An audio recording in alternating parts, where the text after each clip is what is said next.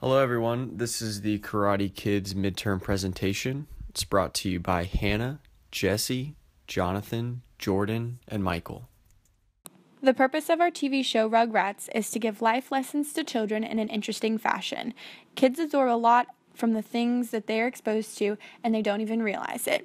Each episode of the Rugrats has Tommy leading his group of friends on some sort of adventure, and throughout the episode, Tommy shows great management skills to lead the babies to success. In each episode, the babies go on a different adventure with a new problem that they need to overcome as a group. Some episodes, Angelica stands in their way, and some episodes, it is Tommy having to figure out how to best lead the babies. Teaching people how to be an effective manager when they are children is a great way to prepare them for life as an adult.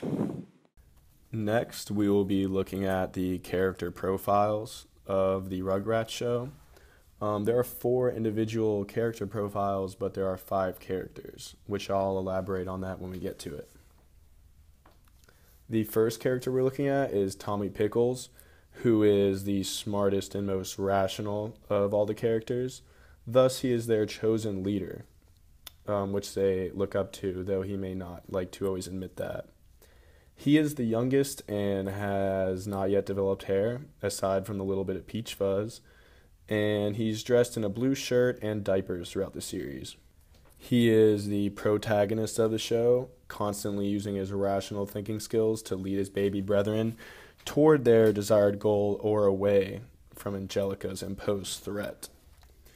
He's also very caring for his friends and family, and though he has big dreams and is the bravest and most adventurous of them all, he does not want to put his friends in harm's way and is willing to do whatever to ensure their well being.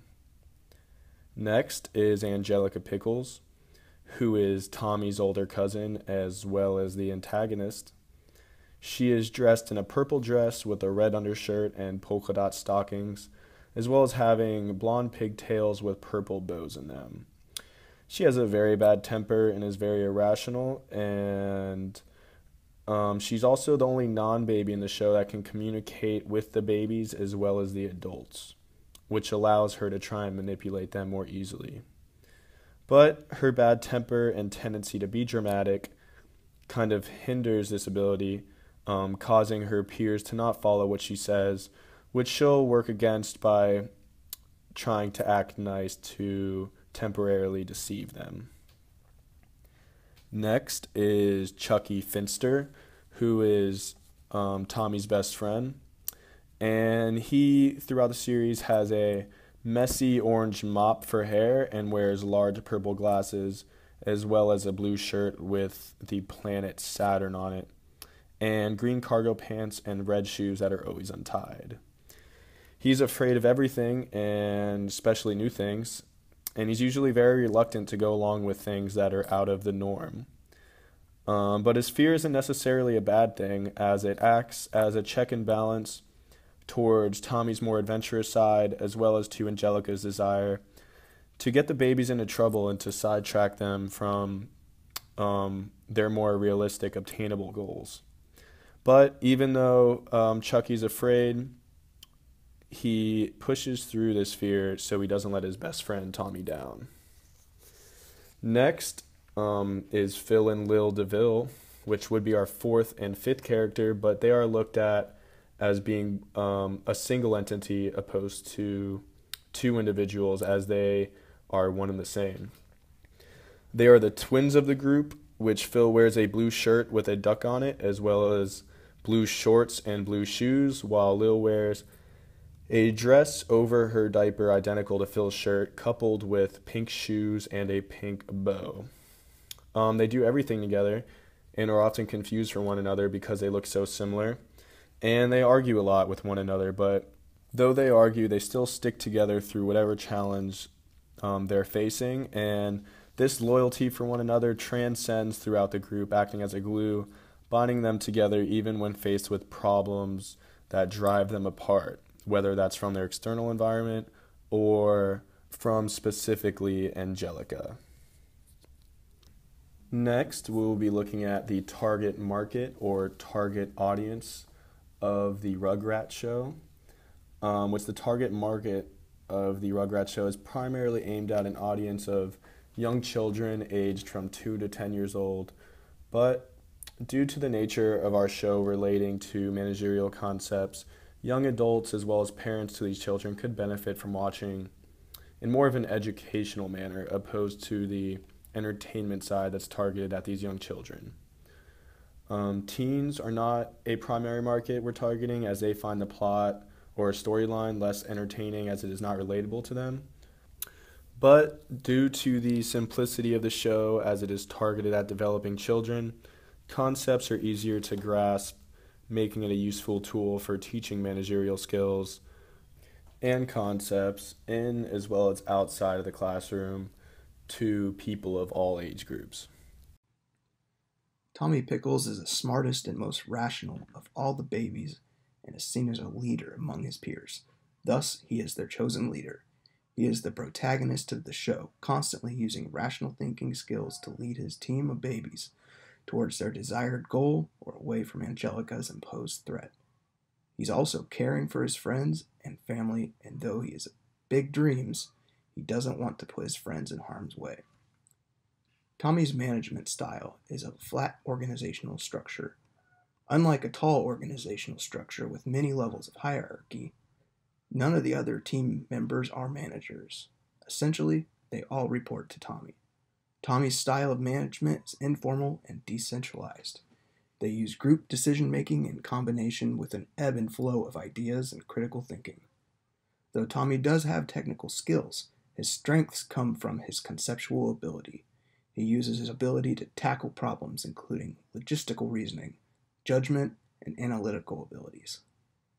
The advantages of this is that it allows the team to cover technical aspects of the challenges they face. Additionally, Tommy also has a high level of interpersonal skills that allow him to be sensitive, persuasive, and have empathy, traits that are vital for a diverse team. Though Tommy is a manager, he's also a leader he motivates his peers, mobilizes resources, and accomplishes goals set forth by his team using concepts such as group decision making and team brainstorming. Their diverse team plays off each other's strengths and weaknesses to accomplish their goals, no matter how big or how small. A perfect example of this is Angelica's bilingual ability that allows the team the ability to communicate with the adults. Though Angelica can be a problem at times, her liaison ability is a great benefit to the team, is a perfect example why diversity can be very beneficial. To take advantage of each other's abilities, they use the concept of differentiation, which can be defined as the extent to which tasks are divided into subtasks and performed by individuals with specialized skills. Each member of the team has some type of special skill. Tommy is the natural born leader of the group. Angelica is the only non baby in the show that can communicate with the babies as well as the adults. Though Chuckie is afraid of everything, he does respect Tommy. Therefore, he pushes through his fears as not to let Tommy down. Phil and Lil DeVille argue all the time with each other, but they still stick together to whatever challenge they are facing. This is very beneficial as that they can use constructive or even critical feedback without fear of hurting each other's feelings. Though Tommy's style of management has worked great in the past, they will soon be faced with new challenges. The normal scope of their business in the past has been limited to their house and their yard, but globalization is quickly taking an impact on them. This is something they will need to learn to work with considering their upcoming business trip to Paris. Our first episode begins with Tommy, Chuckie, Phil and Lil talking about what they can do for an adventure that day. They come up with a few different ideas, but nothing can appease all of them. Angelica overhears this conversation and crashes it. She gives a speech to the babies about how she knows what they want and convinces them to find freedom. The babies get swept up in the groupthink concept until Tommy tells them that their idea is only for Angelica's benefit. The other babies realize he is right and do not go through with her plan. This episode makes it clear that Tommy is the leader of the babies. Tommy has gotten an idea to take his baby friends on a trip to Paris. Unfortunately, Angelica comes in and tries to change their plans last minute. There is discord within the group for some time until Tommy decides he has to use the planning process to figure out how to best get the babies to Paris quickly. He does an analysis of their environment, resources, objectives, and their potential actions, implementation, and outcomes to find a way to get all the babies to Paris safely and in time for Chuckie's dad's wedding. Tommy has some trouble getting the other babies to brainstorm ideas for things to do. He lets them think about it individually for a while. When they reconvene a little while later, Tommy is disappointed to find that the other babies have not come up with great ideas. He works with negative and positive enforcement to find out how to best motivate his team to have a good day. He finds that his team works best when given proper motivation instead of punishments and learns how to best manage his infant friends. We hope you've enjoyed our presentation today on the Rugrats theme. Stay tuned for more episodes coming up soon.